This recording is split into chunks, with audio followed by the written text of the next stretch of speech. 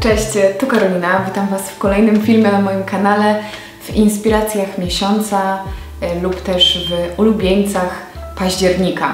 Mam wrażenie, że październik to był bardzo długi miesiąc. Nie wiem, czy tak jest co roku, czy tak akurat przytrafiło mi się tym razem, ale wiele się działo, e, mówiąc mocno ogólnie e, i ciekawi mnie, jak Wy to odczuliście. Także podzielcie się też swoimi nastrojami w komentarzach. W zeszłym tygodniu nie było filmu z wiadomych przyczyn, także e, dziękuję wszystkim osobom, które to zrozumiały, uszanowały i doceniły, bo też dostałam od Was w tym temacie prywatne wiadomości.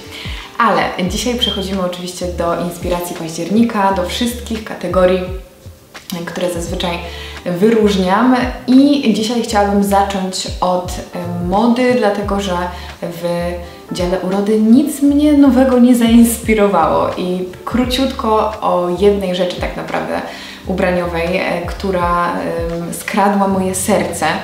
Jest to sukienka moich marzeń marki The Other Side. Jest to sukienka, którą chciałam sobie kupić od ponad roku i przez to, że miałam impuls do jej założenia, w końcu podjęłam się tego zakupu, także był to na pewno bardzo uważny i odpowiedzialny zakup, bo, bo chodził ze mną przez rok, też wcześniej żaden, żaden kolor, w którym była ta sukienka mi nie odpowiadał.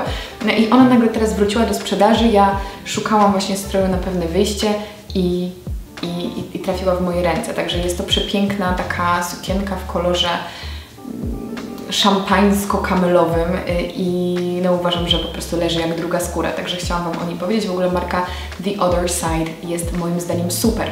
Y, I druga rzecz, słuchajcie, nie wiem czemu w zasadzie wrzuciłam ją do działu mody, ponieważ nie ma nic wspólnego, nic wspólnego z modą, ale powiedzmy, że jest to rodzaj akcesorium, jest to świeczka. Dajcie znać, w której kategorii Waszym zdaniem pasuje świeczka. Ja na Instagramie ostatnimi czasy trąbiłam o świeczkach Ava and May, są to wspaniałe, naturalne, wegańskie świece z wosku sojowego, z naturalnymi zapachami na bazie olejków eterycznych.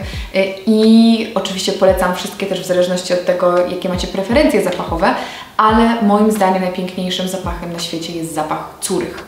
Po prostu jest przepiękny, ja bardzo lubię takie, mówię o tym, takie męsko-słodkie zapachy, właśnie jakieś drzewo sandałowe, tytoń, paczuli i ten córek jest po prostu genialny i musiałam Wam o tym powiedzieć. Jeżeli jest y, nadal działający kod na te świeczki, to podlinkuję Wam go w opisie, tak jak wszystkie rzeczy, o których będę Wam mówić.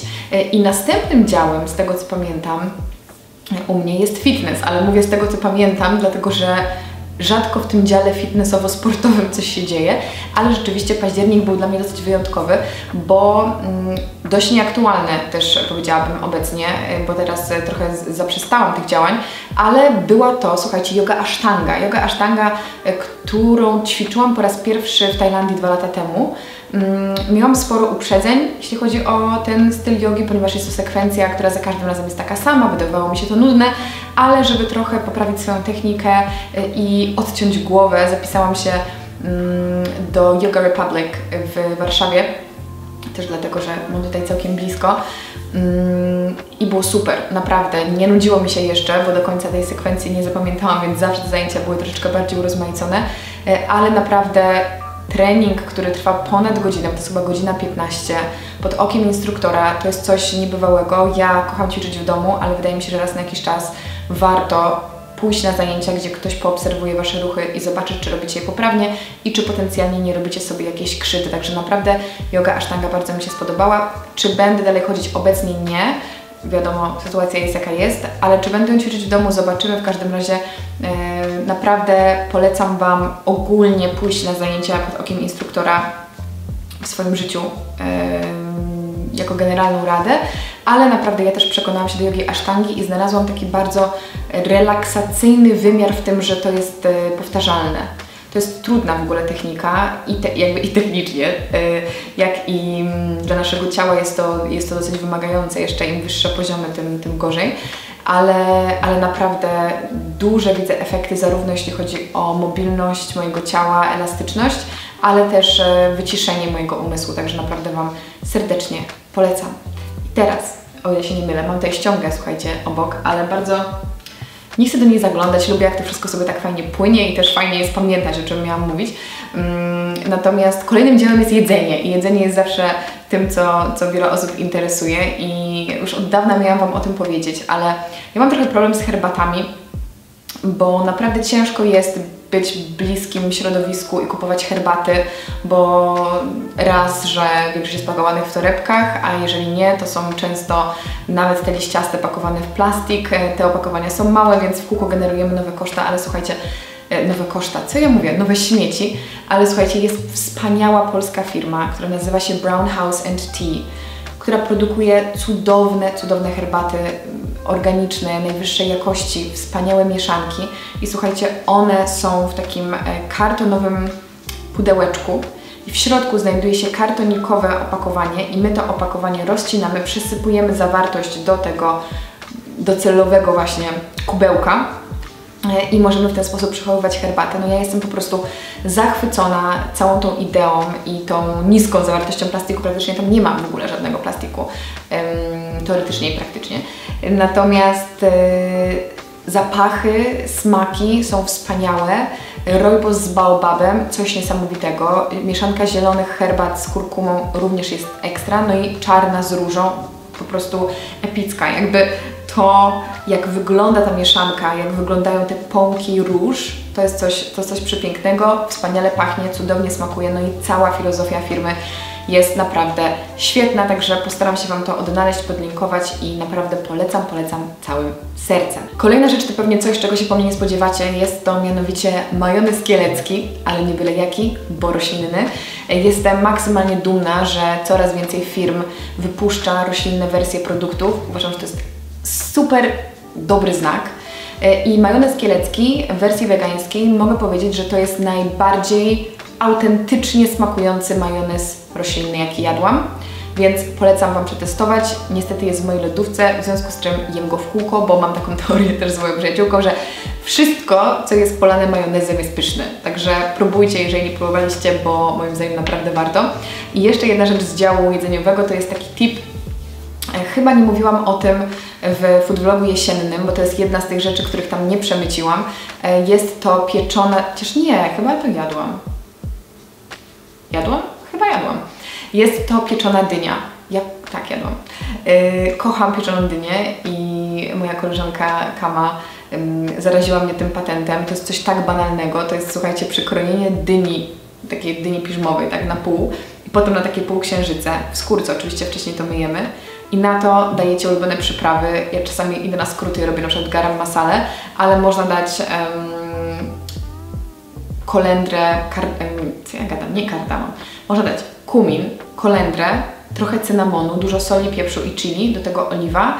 Pieczecie to, nie wiem, 15 minut na jednej, 15 minut na drugiej, nawet mniej. I to smakuje jak niebo. Jest po prostu mięciutkie, cudowne, rozpływające się w ustach, jednocześnie wspaniale aromatyczne. Mm, I ja to jem ze skórką. I to jest cudowny dodatek do wszystkiego. Jest sezon na dynię, więc jedzcie, jedzcie ją. Mm, jest też bardzo zdrowa, rozgrzewająca i uważam, że wspaniała na obecny czas. I w klimacie jedzeniowym, ale już przechodząc do działu książkowego, chciałam Wam powiedzieć o książce, której przesłuchałam, którą przesłuchałam. Jest to książka The Way We Eat Now. Świetna, naukowa, konkretna pozycja, która mówi o tym, w jaki sposób zmieniły się nawyki żywieniowe ludzi na przestrzeni pokoleń, wręcz setek tysięcy lat.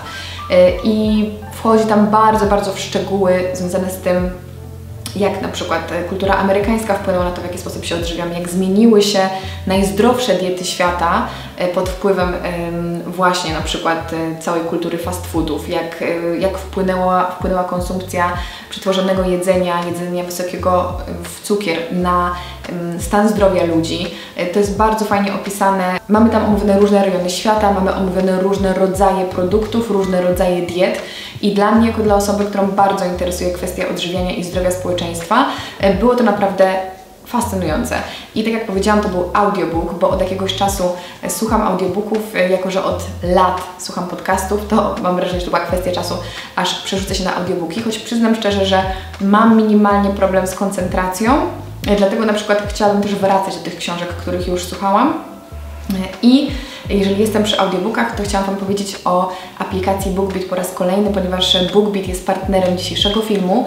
BookBeat jest to oczywiście aplikacja, na której możecie słuchać audiobooków. I to, co jest dla mnie najważniejsze, to to, że jest tam bardzo dużo książek w oryginale, bardzo dużo książek w języku angielskim, więc ja słucham wszystkich w języku angielskim. One są podzielone na kategorie, także dla każdego coś miłego. Ja bardzo lubię książki popularno-naukowe.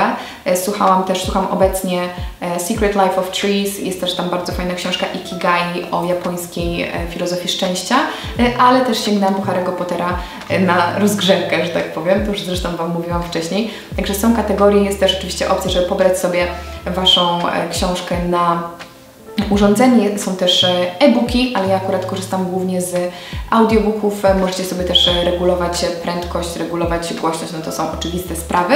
No i najważniejsza rzecz to to, że jeżeli macie ochotę przetestować BookBeata, to z kodem Karolina macie 4 tygodnie darmowego dostępu do aplikacji. Także e, polecam Wam naprawdę bardzo, bo to jest super sprawa, jeżeli sobie na przykład tak jest w moim, w moim przypadku, jeżeli ja gotuję, jeżeli jestem w samochodzie, jeżeli e, idę do sklepu, lubię sobie czegoś słuchać, fajnie jest e, też e, przeżyć swoją wiedzę i czasami mamy coś takiego, że podcast się kończy, ja tak mam, że jest nam smutno, to książka zazwyczaj trwa wiele, wiele godzin, także można się wkręcić. Także polecam Wam serdecznie BookBeata i przede wszystkim właśnie książkę The Way We Eat Now, jeżeli lubicie takie tematy, interesuje Was zdrowie i te przemiany, te różne trendy żywieniowe, które w ostatnim czasie stały się popularne, bardzo, bardzo, bardzo Was do tego zachęcam.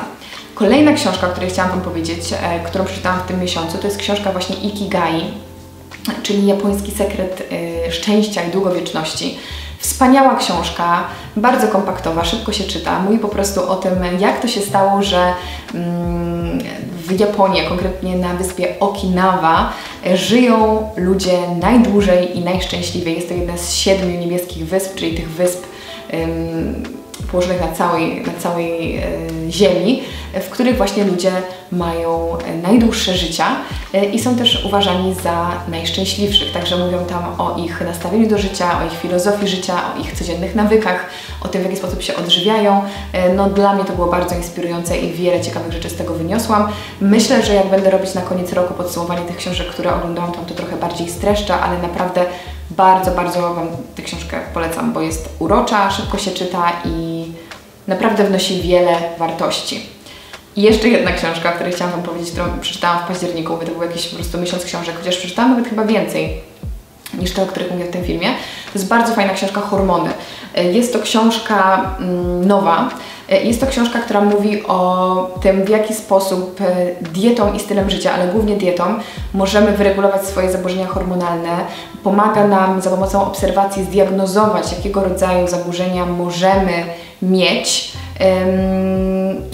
No i moim zdaniem to jest genialne. Tak sama jakby nie, nie borykam się z większymi problemami, ale też e, wiadomo nie od dziś, że, że różnego rodzaju schorzenia typu mm, zespół jelita drażliwego, czy zespół poliestycznych jajników, czy wszelkiego rodzaju założenia hormonalne związane na przykład z e, funkcjonowaniem tarczycy, o czym też jest podcast, bardzo Wam polecam. E, poziomami cukru, nie chcę tutaj za bardzo zagmatwać, ale kwestia właśnie regulacji poziomu cukru we krwi, kwestia mm, zadbania o naszą mikroflorę jelitową, wyczyszczenia naszej wątroby. To są rzeczy, które mm, ta książka bardzo zaznacza i pokazuje w jaki sposób metodą e, obserwacji swojej diety można rzeczywiście sobie to wszystko wyregulować. E, uprzedzam, że nie jest to książka, która mm, jest jakoś super pro-wegańska, ale umówmy się, w sytuacji, kiedy mamy jakieś e, schorzenia zdrowotne, to troszeczkę innymi zasadami wrażenie czasami się kierujemy i myślę, że warto, jeżeli macie tego typu problemy, e, otworzyć się na takie leczenie poprzez dietę, poprzez styl życia, a nie tylko polegać na farmakologii lub zakładać, że takie, a nie inne dolegliwości będą Wam towarzyszyć całe życie. Także e, bardzo, bardzo Wam to polecam. Rozgaduję się jak szalona, ale chciałam powiedzieć Wam o w filmie dokumentalnym na Netflixie, który polecam wszystkim. E, wszyscy już go pewnie widzieli, ale jest to The Social Dilemma. Wspomniałam o tym w moim filmie o detoksie cyfrowym. Jest to film, który, w którym zwierzają się różni ludzie związani z mediami społecznościowymi, którzy byli współzałożycielami takich platform jak Facebook, Twitter czy Pinterest czy Instagram. Osoby, które oczywiście były zaangażowane od tej strony techniczno-marketingowej, po prostu zdradzają, jak to było stworzyć potwora, w jaki sposób media społecznościowe trochę wymknęły się spod kontroli ich twórcom, w jaki sposób my jesteśmy uzależnieni jako społeczeństwo. Mm, I to naprawdę w bardzo obrazowy sposób pokazuje to, że, że czas, czas to dostrzec i czas podjąć działania i czas e, zrozumieć to, jak bardzo my już przestaliśmy mieć kontrolę nad tym, jak media społecznościowe kontrolują nas. Incepcję tutaj zrobiłam słowną, ale mam nadzieję, że to było dosyć jasne. Polecam, to jest absolutny must dla każdego, moim zdaniem. I jeszcze jedna rzecz z serii takiej właśnie filmowej, to jest serial. To jest serial, który skradł moje serce, o wiele mniej zobowiązująca tutaj um, pozycja. Jest to serial na HBO, ja go oglądałam na HBO Go, e, który nazywa się Love Life. Zaczęłam go oglądać, ponieważ moja przyjaciółka Ola mi go poleciła, to po pierwsze. Po drugie, gra tam Anna Kendrick. Ja bardzo lubię seriale, w których e, gra ktoś, kogo lubię. Więc e, polecam Wam serdecznie. Jest to serial chyba 10-odcinkowy, e, który mówi, który pokazuje ponad 10 lat z życia głównej bohaterki i każdy odcinek jest poświęcony jakiejś innej relacji z mężczyzną, którą ona ma. Maksymalnie życiowy, prawdziwy. Nie, no nie chcę powiedzieć, że smutny, ale właśnie prawdziwy to jest chyba dobre słowo, ale też jest mówicie zabawny i ciekawy, przepięknie zrobiony, bardzo mądry. Polecam Wam naprawdę z całego serca. Jeszcze jednym e, moim ulubieńcem tego miesiąca to jest e, sesja zdjęciowa, której miałam przyjemność być uczestniczką, ponieważ e, marka torebek wegańskich, cudownych, świetnej jakości toreb bliskich środowisku Aleksandra K., którą też noszę już od lat, zaprosiła mnie do bycia twarzą ich najnowszej kampanii jesiennej. Także na Instagramie musicie oglądać tutaj efekty. Mi było bardzo, bardzo miło um, dostać taką propozycję i móc uczestniczyć w tej sesji. To było super doświadczenie i chciałam się nim z Wami podzielić. Natomiast moim ostatnim, moją ostatnią inspiracją jest e, spontaniczny wyjazd, który miałam przyjemność odbyć. Jest to wyjazd do Szwajcarii. Byłam w szwajcarskich Alpach, spędziłam tam tydzień praktycznie offline, nie ujawniałam tego, że gdzieś jestem, nie nagrywałam tam niczego i mogę powiedzieć, że było to jedno z najpiękniejszych miejsc, w jakich byłam, szczególnie w obliczu tego, co działo się w Polsce, czułam ogromny przywilej tego, że mogę e, uciec w naturę i troszeczkę mniej przeżywać, co się dzieje. Jednocześnie cieszę się, że jestem z powrotem w Polsce i, i, i mogę być z bliskimi i wspierać tutaj ten, ten kolektywny cel. E, natomiast e, było przepięknie. Chodziłam w krótkich spodenkach 31 października po lesie bo było 20 stopni i codziennie budziłam się z widokiem na Alpy i to było coś wspaniałego i żałuję, że Was tam nie zabrałam, ale wbijajcie na Instagrama, może tam jeszcze coś udostępnię. Także to są, kochani moi ulubieńcy, czy też moje inspiracje października. Jeszcze raz dziękuję e, BookBeatowi za to, że um, jest partnerem tego odcinka, a Was jak zawsze zachęcam do dzielenia się swoimi inspiracjami w komentarzach. My widzimy się już za tydzień w kolejnym filmie.